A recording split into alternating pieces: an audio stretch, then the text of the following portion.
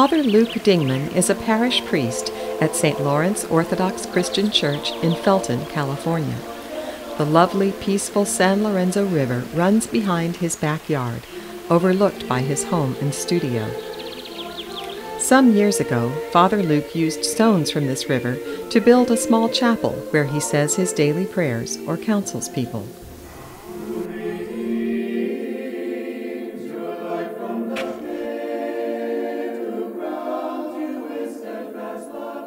During the course of this video, Father Luke will be creating six large icons depicting the life and martyrdom of St. Lawrence of Rome. When completed, these icons will fill the back wall of the nave of St. Lawrence Church. The film portrays Father Luke's struggle to complete this masterwork before his advancing Parkinson's disease renders him incapable. We'll follow along as he works and learn the 12 basic steps of the ancient art of Byzantine iconography icons themselves will tell us the fascinating story of St. Lawrence, a 3rd century deacon and martyr who is beloved by Christians of both East and West.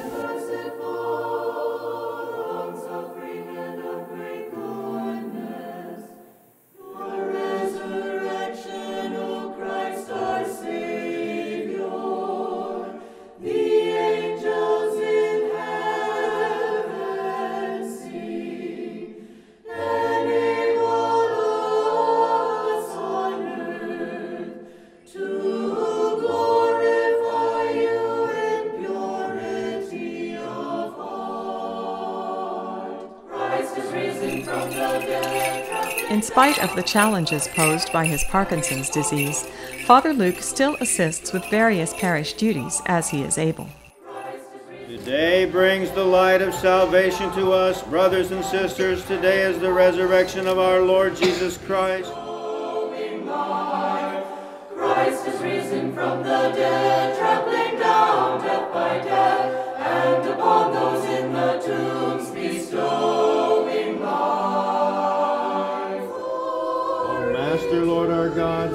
Down your heavenly grace upon these your servants, Jean Maurice, Sarah Elizabeth,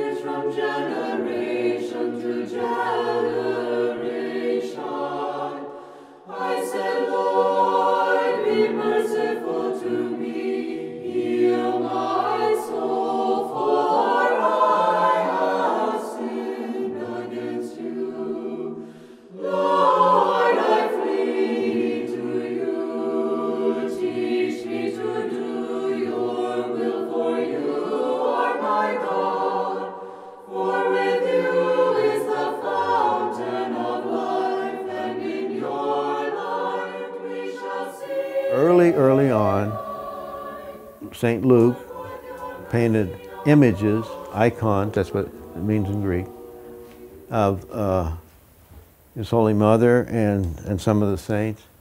And there's some of those that still exist today. I saw one in Jerusalem. And uh, they're very dark and very old, but they're, they're, they're quite beautiful. For Orthodox, when you go into church, uh, you're not just in a place of uh, blank walls. You see saints and angels and Christ all over everywhere. And these are the invisible made visible. And uh, the great cloud of witnesses that are in heaven are there with you in their images and their icons.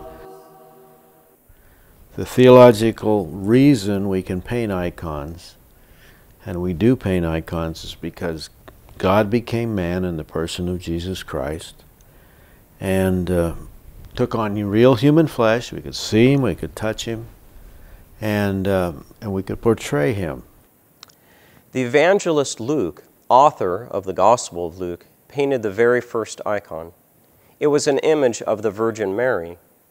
In icons, she is almost always shown with Christ, either holding him as a child or following him in his ministry. We have icons of saints who are alive in Christ, who are interceding for us. Icons that represent historic events or stories of Christ and his saints, and icons that depict the good things God has done for us. Through seeing and venerating these icons, we can honor God and his saints and keep their memories alive in our hearts. The first of the 12 steps in the creation of an icon is research. In creating a new icon, it has always been important for the icon painter to look for many images. I begin by searching my collection of books on icons and to gather as many previous prototypes of good Byzantine icons of the saints or subjects I will be depicting. I have collected many books on icons as I could find and afford. I searched these books for the subjects or saints that I will be painting. I also have extensive files containing photos and prints of icons from my travels to churches in the United States, Greece, Russia, and the Holy Land. Often, from what I have found in my files and books, I will have 20, 30, or sometimes even more prototypes from many different countries and spanning many centuries. And, of course, now we have the World Wide Web where, with just a few clicks, you can find hundreds, even thousands of images. The ones you need or choose for referral can be easily printed out. As I look over these many examples spread out before me, I take note of what is common to all or most all then take note of where there can be some individual choices and creativity by the artist. Since the beginning of the church, icons have been used in Orthodox worship. Icons have always been a part of my life as well. In addition to having icons in our churches, most Orthodox Christians have icons in their homes. These holy images remind us that God is everywhere present and fills all things, and He is always with us. When we invite Him into our home in this way, we invite Him into our lives and are reminded to enter His presence to seek healing, grace, and love. But the use of icons in worship has not been without controversy. In the 8th century, iconoclasm rose in the Christian church. Icon smashers, those who persecuted, exiled, tortured, and even maimed iconographers, and those who supported the use of iconography in worship. Today, there are still religions who believe that the use of images in worship should be forbidden. Others simply believe that we are worshiping idols of wood and paint. But the reality is that icons are windows to heaven, a means by which we remember and honor those Christians who have gone on before us. St. Luke is the patron saint of iconographers, and I have an icon of him in my studio. This is where I say the iconographer's prayer. O divine Lord of all that exists, thou hast illumined the apostle and evangelist Luke with thy Holy Spirit. St. Luke, pray for me. Thereby enabling him to represent thy most holy mother, the one who held thee in her arms and says, The grace of him who has been born of me is spread throughout the world. Enlighten and direct my heart, my soul, and my spirit. Guide the hands of thine unworthy servant Luke, that I may worthily and perfectly portray thine icon, that of thy mother, of St. Lawrence, deacon martyr, patron of our church in this valley, and of all the saints, for the glory, joy, and adornment of thy holy church. Forgive my sins and the sins of those who will venerate these icons, and who, kneeling devoutly before them, give homage to those they represent. Protect them from all evil. Instruct them with good counsel. This I ask through the intercessions of thy most holy mother, the Apostle Luke, St. Lawrence, and of all the saints, in the name of the Father, Son, and Holy Spirit, now and ever, and unto ages of ages. Amen. I usually draw to scale a series of small, rough thumbnail sketches of what I have found to be all the important elements paying special attention to layout and proportions. In the preliminary sketches of the life and martyrdom of St. Lawrence, I made choices of what to include and how many figures and objects will be in each scene. When I was doing my research and found elements of consistency among the icons, I took that as holy tradition. So while doing these sketches, I stay faithful as best I can to those elements. It is important to stay true to the older, accepted, and blessed images rather than to innovate, improvise, and create one's own version.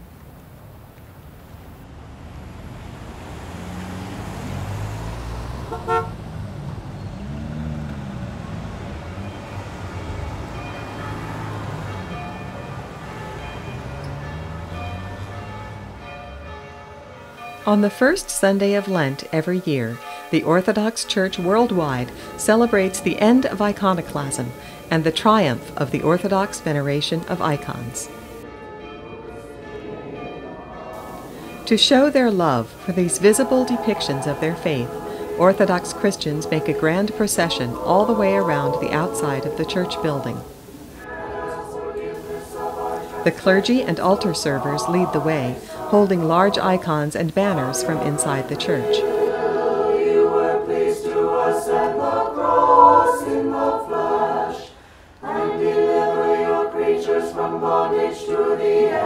The choir and the other parishioners follow, each person holding an icon brought from home to participate in this blessing. You, have filled all things with joy, O our Savior,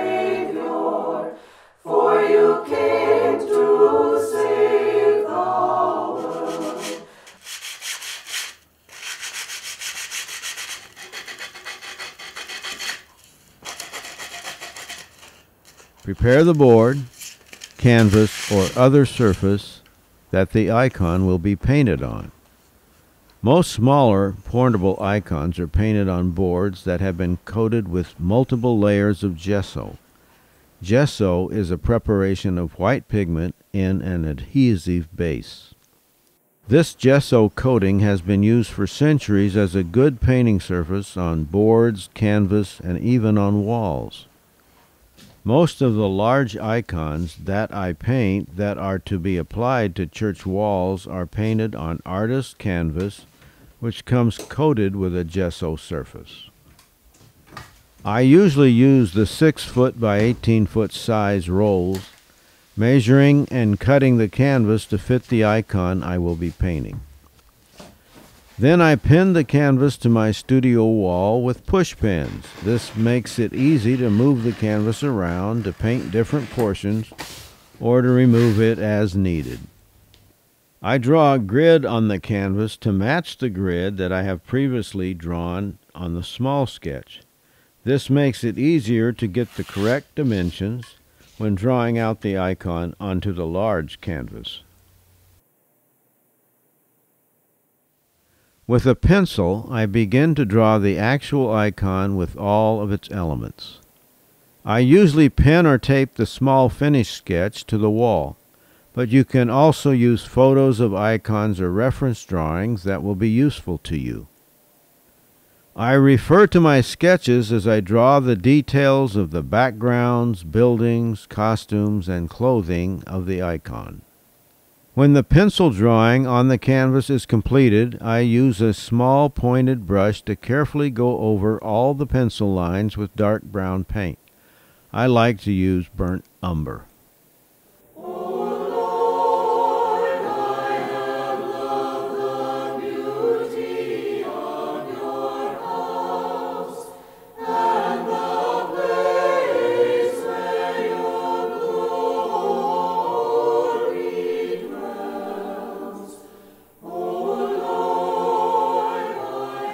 I thin the paint with water so that it will flow evenly from the brush like ink. In the ancient text, this type of drawing was traditionally called the cartoon. Then I erase any extra pencil sketch lines and grid lines and clean up any smudges of graphite. This leaves a clean, finished drawing ready to be painted.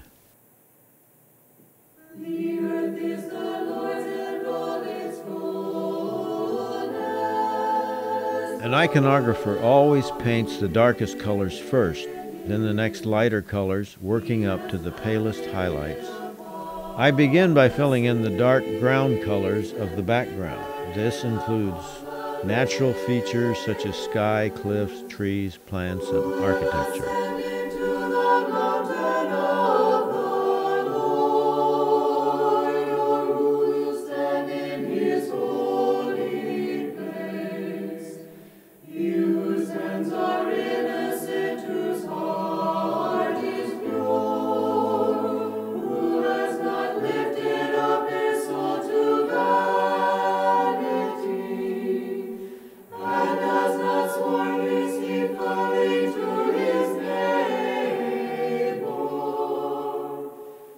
Move on to the garments, figures, and so forth. When the dark ground of each area has been filled in, I begin to highlight and add detail, working from dark to light.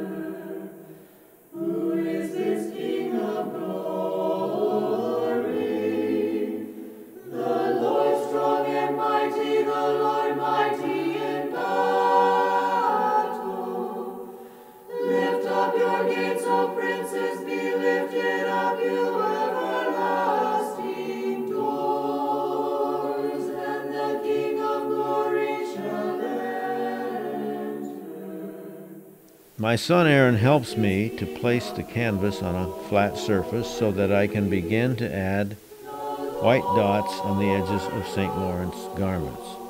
The round dots are called pearls and are easily and quickly done by dipping old brush handles of various sizes into the white paint and gently pressing them on the border design. Father Luke started his artistic career using many different styles.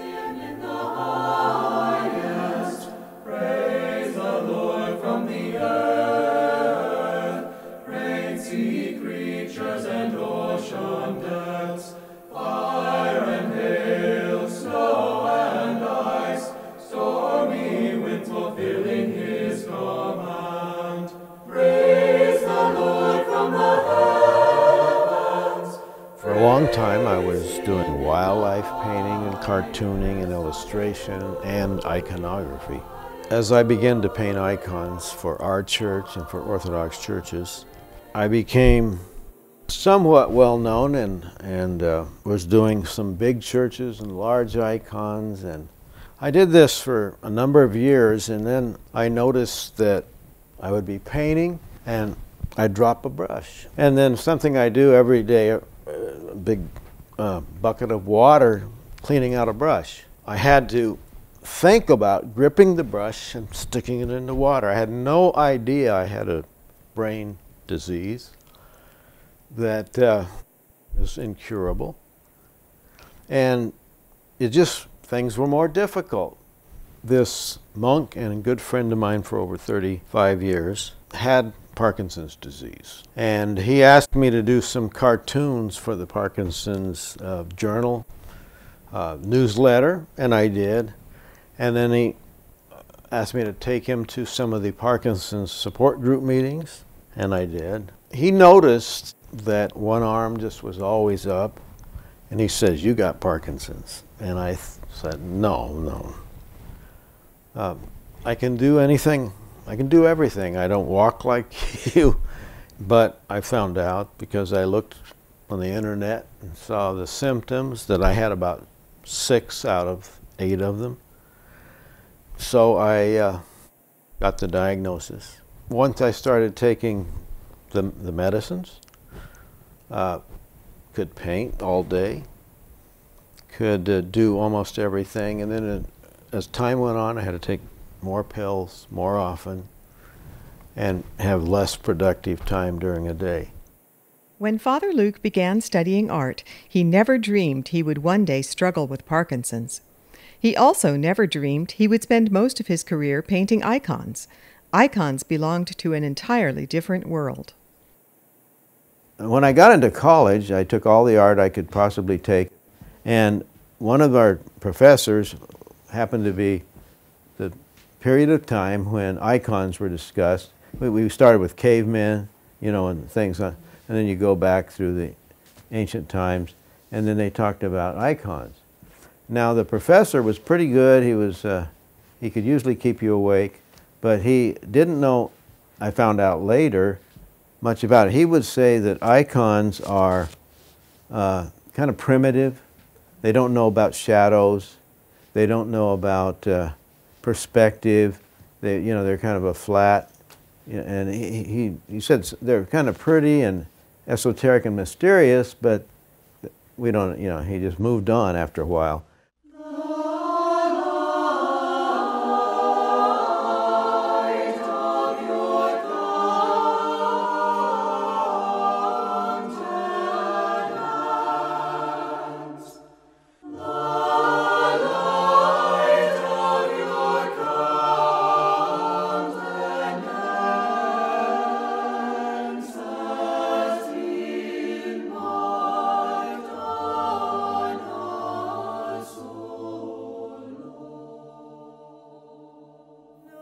Everything in an Orthodox icon is done for a reason, and uh, a, usually a spiritual, mystical reason, and not to be realistic, sensual, natural.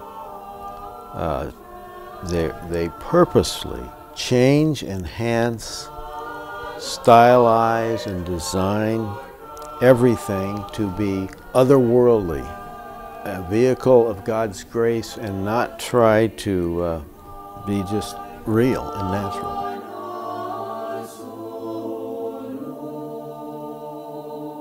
You have put gladness into my heart, more than the abundance of wheat, wine, and oil. And so, things that we thought were primitive, that, that, that they didn't know perspective, they have inverse perspective because it's a window to heaven and sometimes, you know, things in, in perspective, everything has a vanishing point, and, uh, and there's no shadows because there's divine light. The figures, rather than uh, rosy cheeks and big luscious lips and all the kind of things that developed in religious art during the Renaissance, they look ascetical, they look spiritual, big eyes, uh, small noses, small lips and uh, various poses too that are just spiritual and not naturalistic and physical, sensual.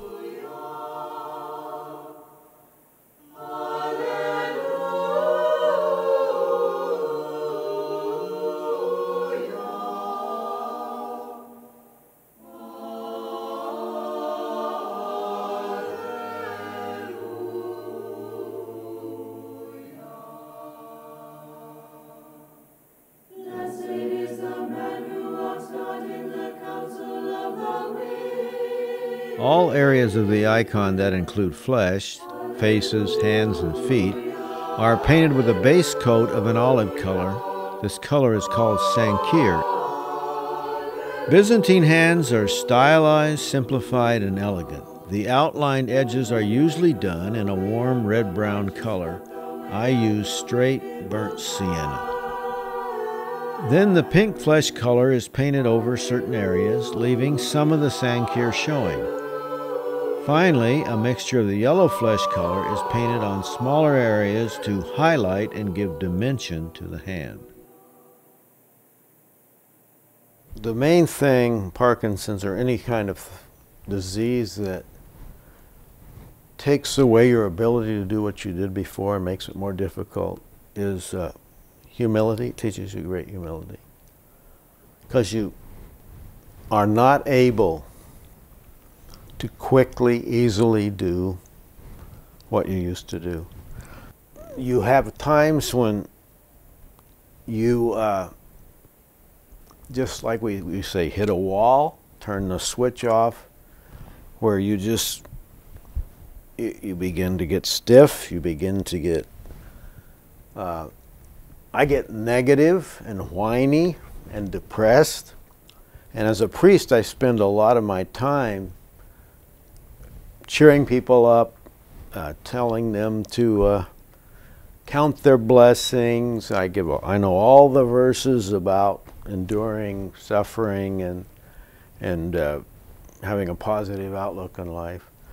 But when I'm in an off period, I can barely control my fingers. And most of art is up here, and, and I've had a, you know all that experience, but to make it come out this way, and, and I find that when I'm at that stage, I just go read something, I can pray, but I can't do effective art.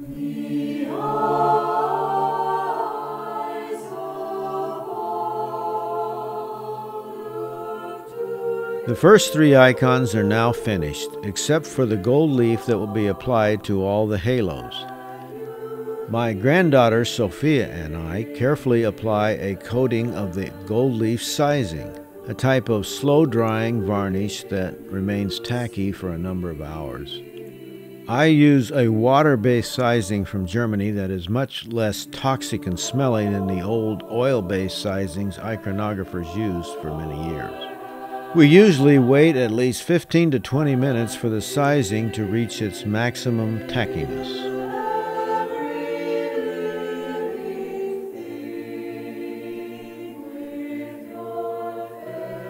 The gold leaf comes in sheets, lightly adhered to a paper backing.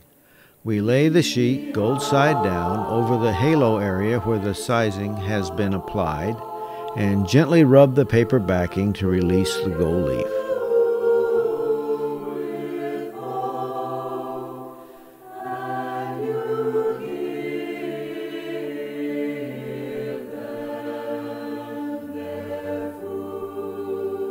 We then rub the area to which the gold leaf has stuck more firmly, repeating until the entire halo area is covered, overlapping the gold slightly and being careful not to waste a lot of gold leaf.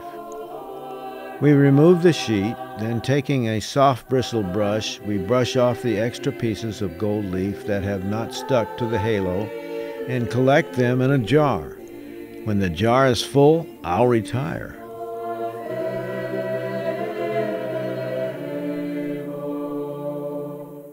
We keep brushing until all the loose gold flecks are gone and the surface of the halo appears as one solid field of gold.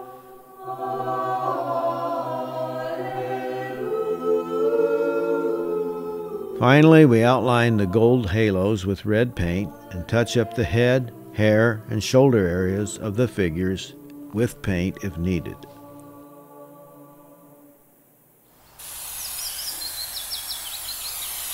When the gold leafing is finished and all the corrections, changes, and enhancements are done, I pin the icon outside on my studio wall and spray it with two to three thin, even coats of picture varnish. This seals them and protects the icons during installation and makes them able to be cleaned of soot and dust with a soft, damp cloth without damaging the holy images.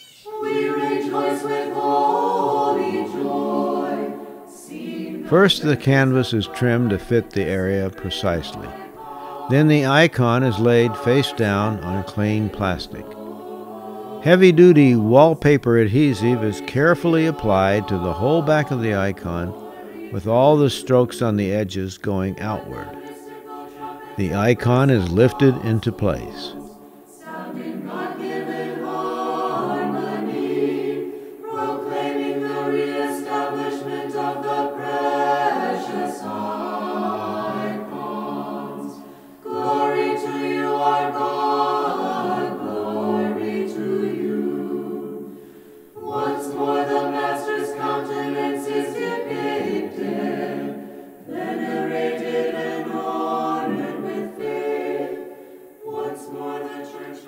Gently rubbing the icon from the middle outward gets rid of any bubbles and excess paste. We use damp rags to wipe the excess paste from the edges, then use clean, dry rags to get rid of any residue.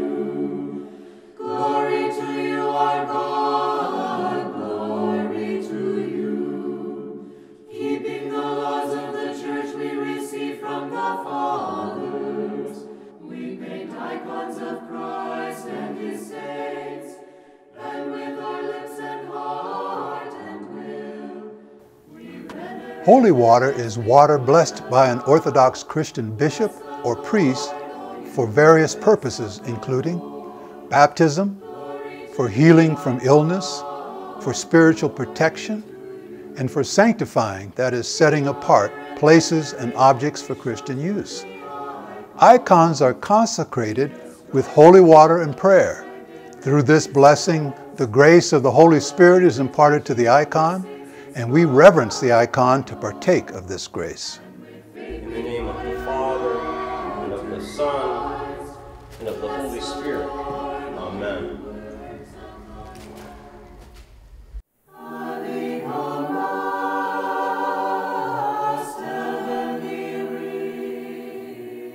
Lawrence was born in Spain, then educated in Rome in the mid 3rd century. As a young man, he showed himself to be devoted and virtuous. Archdeacon Sixtus, who had been Lawrence's mentor, became bishop or pope of Rome in 257. He ordained Lawrence to the diaconate and elevated him to the position of archdeacon. Pope Sixtus put Lawrence in charge of the church's treasury with the duty of distributing money to the poor. Lawrence discharged this duty diligently and faithfully, and the poor loved him.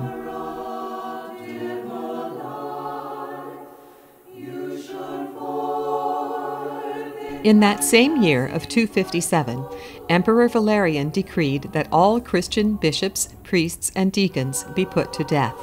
The following year, Pope Sixtus was arrested along with four deacons as he served the liturgy in a catacomb church.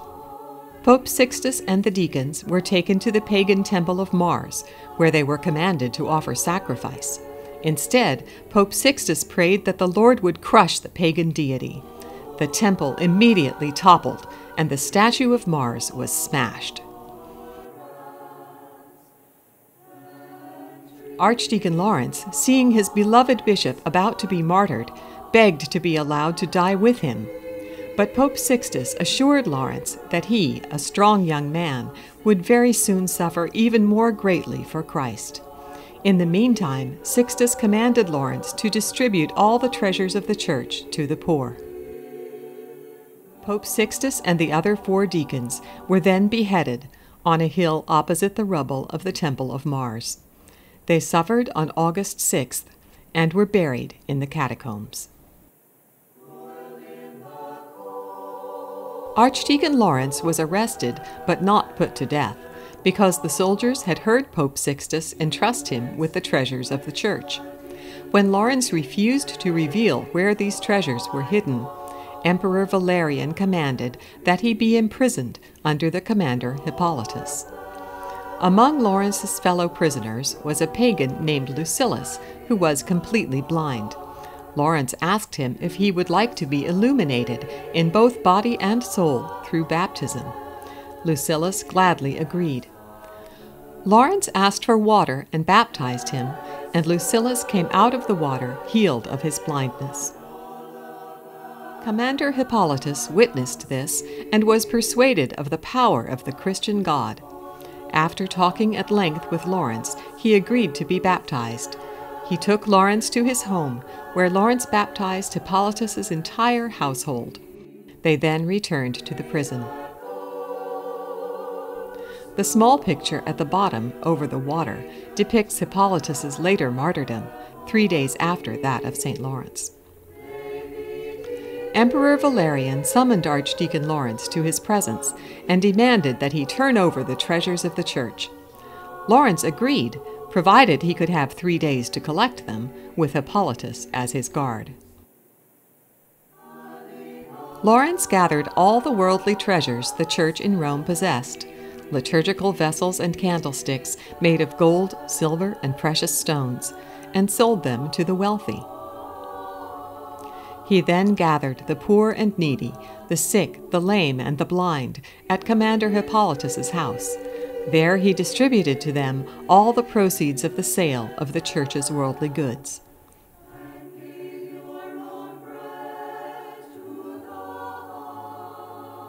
When it was time to present the treasures of the church to Emperor Valerian, Lawrence presented him instead with the needy people he had just provided for.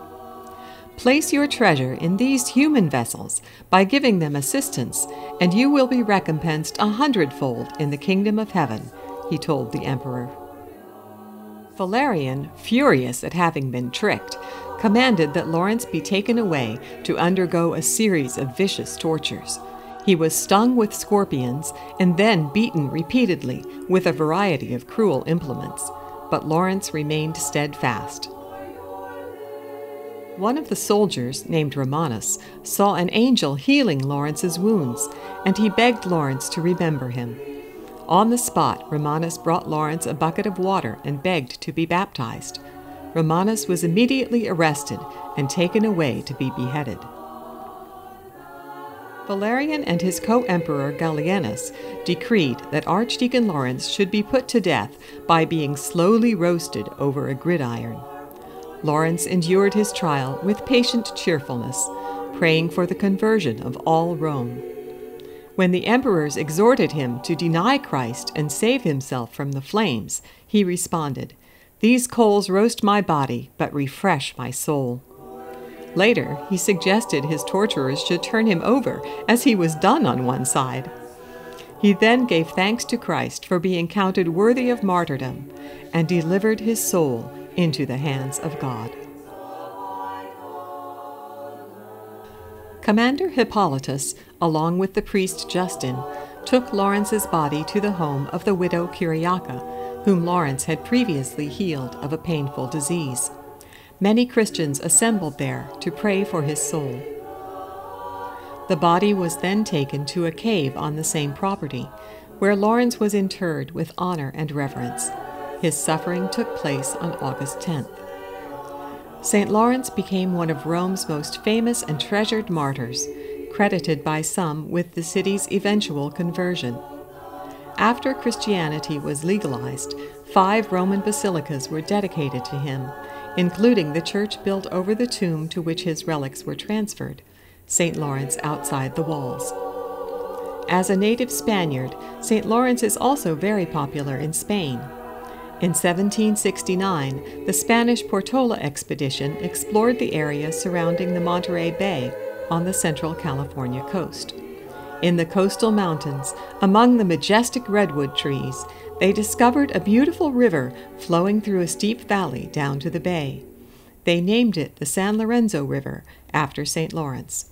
Our parish, located in the heart of the San Lorenzo Valley, found it fitting to adopt St. Lawrence as our patron and to invoke the blessing of this great saint on our whole community. Depicted at the front of this procession are several members of our parish who have fallen asleep in the Lord. They, along with St. Lawrence, are always praying for us.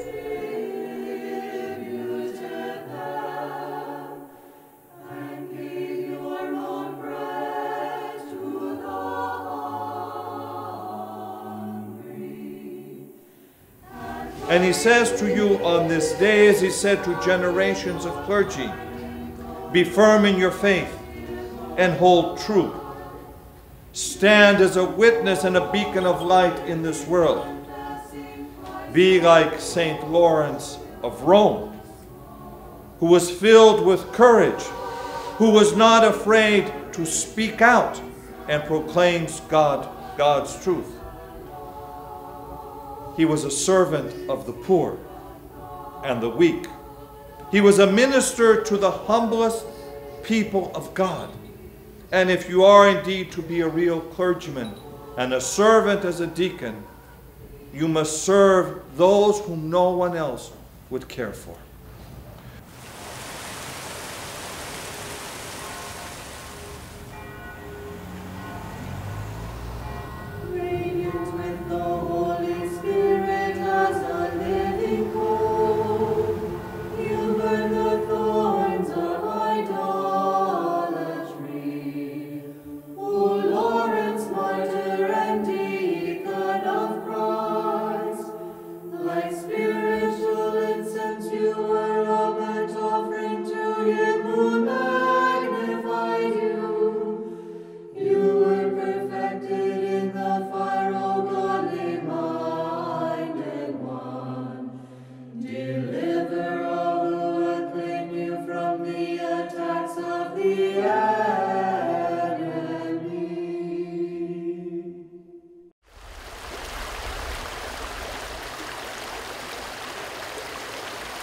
In the six years it has taken me to paint these icons of the life of St. Lawrence, my Parkinson's has relentlessly advanced, making it more and more difficult to do what used to come so easy.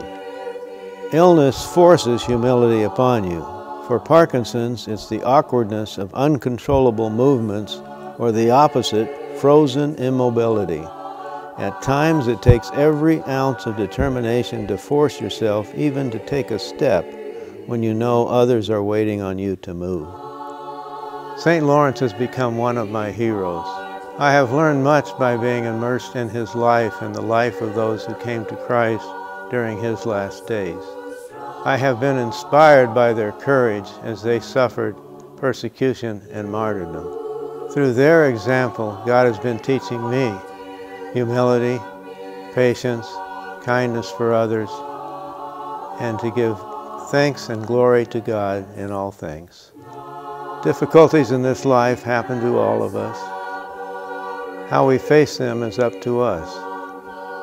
God will give us the grace to do so, just as He did St. Lawrence. By God's grace, I plan to keep painting icons for our church as long as I am able. I often use this ancient prayer that reminds me of who God is and of my need for His mercy and love. Perhaps it'll be useful to you. Lord Jesus Christ, Son of God, have mercy on me.